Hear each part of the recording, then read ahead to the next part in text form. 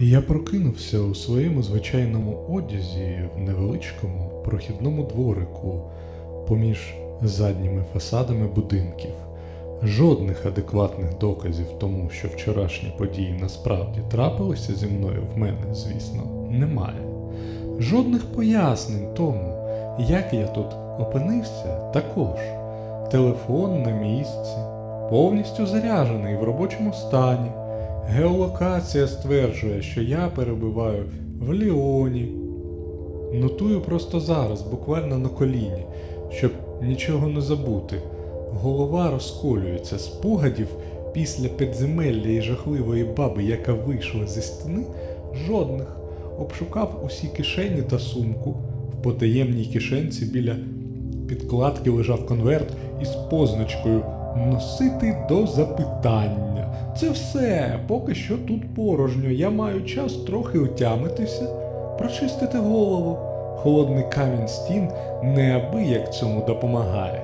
І вирішити, що робити далі. Десь у провулках біля мене метушня. Допишу згодом. Через кілька годин. Я не подивився на годинник, коли тільки прийшов до тями.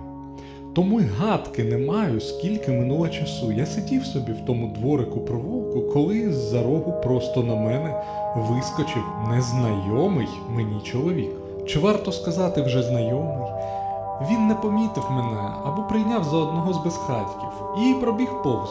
Уже коли він зник у переході, я зрозумів, звідки знаю його лице.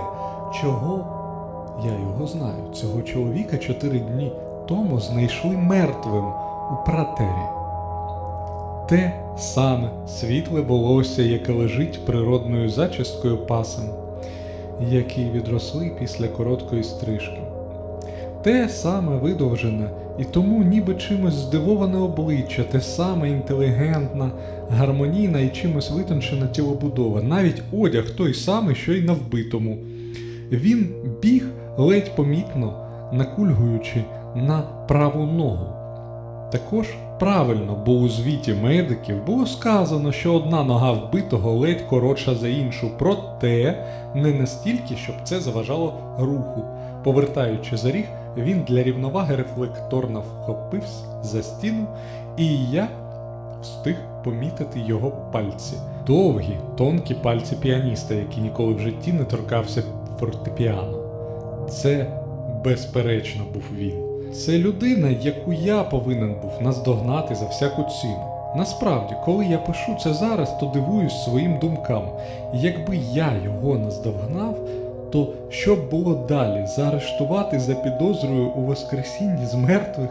І що за ідіот придумав фразу Воскресіння з мертвих, із яких же ще можна воскреснути?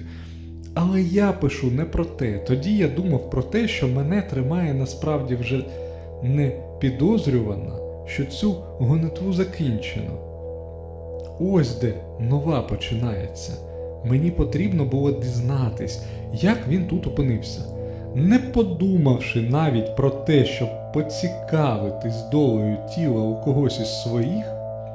Адже Ростин, якраз я зараз пригадую, йому робили Ростин, і я бачив зашитий труп. І я кинувся за ним. Коридор закінчувався чорним порталом, на брамі якого було вибито стрілку, що вказувала в квадратні дужки і карткову масть хрест.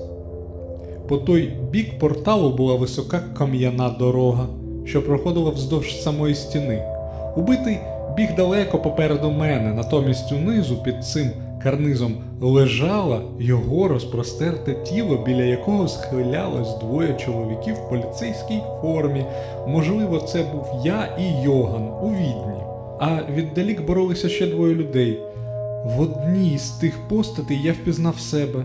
Не знаю, про що я думав, але я кинувся вниз. Крок уперед і за долівку мене стала стіна карнизу. Те, що доти здавалося низом, зникло за краєм площини, на якій я тепер стояв. Камінь зігнувся, ніби папір, по штрих-пунктиру перекинувшись іще одним мостом. Коли я глянув з нього, внизу була та сама картина, тільки що вбитий тепер тікав бічною стіною, головою повернутий до власного трупа. А я ж дивився на це ніби крізь отвір коробки з пластівцями, де вся дія відбувається на протилеглежних стінах. За наступним порталом вів коридор, який через кількадесят кроків глозився у всіх напрямках короткими круглими проходами, створюючи відчуття спостереження за десятком телеекранів водночас. Щойно вбитий пробігав одним із них, як у сусідньому кадрі з'явився чоловік близькосхідної зовнішності з пістолетом в руках. Щосекунди він міг повернутися і вистрілити в прохід у моєму напрямку. Після цього зазвичай вмикається музика Джона Баррі, а всі одержують коктейлі за рахунок закладу, горілка з Мартіні. Я витягнув із кобури власний, але тоді ще остерігався стріляти. Вони перебігали з проходу в прохід, постійно залишаючись у різних кадрах. Далі, якщо я все пам'ятаю правильно, вбитий на мить спіткнувся, і турок, я буду називати його так, почав наводити на нього пістолет, щойно опинившись в одній з ним рамці. Вбитий вибіг з кадру, щойно гримнув постріл, а турок випустив із пораненої руки пістолет. Я кинувся вперед, але сильний удар лівою збив мене з ніг. Я встиг побачити чоловіка, що дивився на нас згори, з високого карниза, що тягнувся вздовж задньої стіни будинку.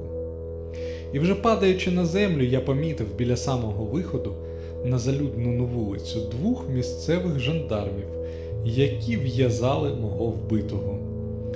Турок дихнув на мене сумішчю сигаретного тютюну та евкаліптового лядяника, який саме язиком закинув за ясна нижньої щелепи, і запитав німецькою без тіні акценту: А тобі що потрібно? Якщо я зараз правильно розумію всю логіку всього, що відбувається зі мною на цьому шляху, моє наступне рішення було єдиним правильним. Я легко вирвав ліву руку, яку він тримав своєю правою пораненою, і швидко сягнувши до кишені, простягнув йому конверт. Я одержав запитання. Настав час віддавати конверт. Турок негайно відпустив мене і, діставши звідти продовгувати поперець і кинувши його мені, зник у проході на вулицю, крізь який жандарми до опіру витягли мого вбитого.